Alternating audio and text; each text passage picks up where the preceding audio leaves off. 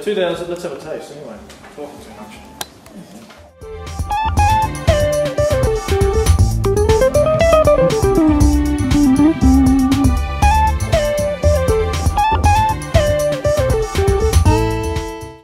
Yummo, that's good. Well. See, Merlot is a big bunch of grapes. It's the biggest bunch in the Bordeaux family. Second to Shiraz, right? So you're talking about a bunch of grapes that is sometimes in excess of 300 grams per bunch, whereas Pinot Noir would be 120, to give you an example, right? So you've got a much different physical size of, of a bunch that a vine has to ripen. But they're very vigorous, and within those berries, you get a lot of juice, right? You get a lot of liquid uh, as a ratio of skin and seed. So you've got a lot more, a lot less extraction potential. But if you, if those berries are concentrated and a little raisined in a warm year, you find that that increases, that intensity increases, or that extraction increases. And that's what we found. So we're getting good colour, great extraction, in a year that I think you know is going to age extremely well with this Merlot. And this is one that you know can be drunk now, but it has the legs, like some Merlots don't, to go the distance. So Cabernet Franc from Clark Farm. Extremely intense on the nose, not a hint of green at all there. It's very ripe plum. There's some savoury notes there. You've got some uh, some really good secondary flavours, but very very rich. You know, um, again French oak dominant, kiss of American oak behind it.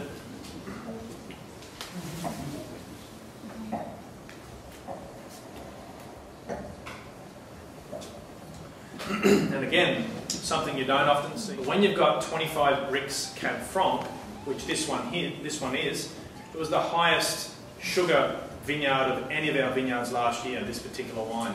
It was over 25 Brix, as a matter of fact. So it's pushing 14% natural alcohol. Um, you're not getting any of those green characters that are in the seeds and the skins are gone. They're very, very ripe. You know, the leaf pulling, all these are netted, no birds are getting in, and they're just simply left to hang well into the end of October, which, which was two weeks early last year. This is one of the last things we picked because they just hung on so well and they raisined and they gave us such a different profile of Cab Franc I've never seen. So we decided to run with it. Is it herbal?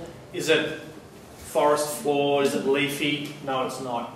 This was what the vintage gave us. So I guess in the context of showcase, that's what we wanted to showcase.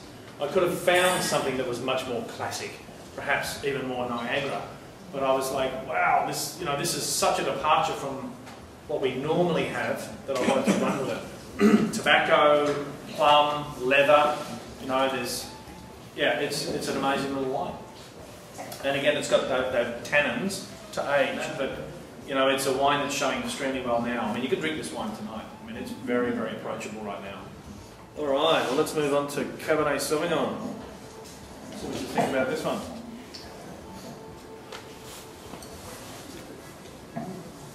Straight away, it's Cabernet Sauvignon.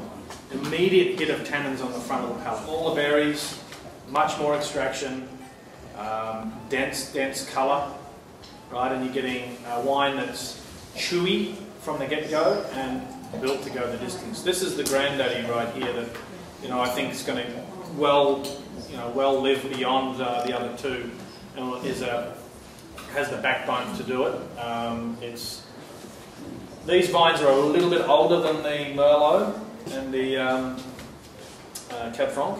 So they're planted in, I think, around 2000. So they're coming up to 11 years old now. Um, but this particular patch, there's a lot of stone, there's a lot of mineral content, and there's swales of stone that go through this Clark farm, which is so unique, much like Ghost Creek. Right? There's off the escarpment when the glacier went through, it, it crushed and smushed, uh, smashed a lot of rock along the escarpment, and then uh, rivers washed it all down through and deposited it all through pockets of Niagara, and it's quite uh, chaotic as to where those deposits are.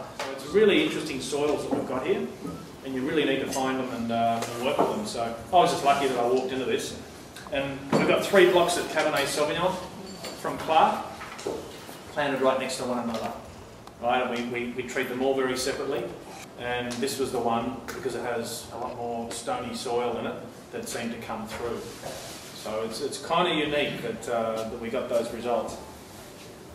But um, yeah, wine that's, you know, like I say, built to last and showing extremely well for 12 months in, or 10 months in. I mean, keep in mind these wines are very, very young as well. These are right from the barrel, so, you know, in the, in the concept of, uh, or context of futures, they're, uh, they're still evolving, but I really like the way they're heading.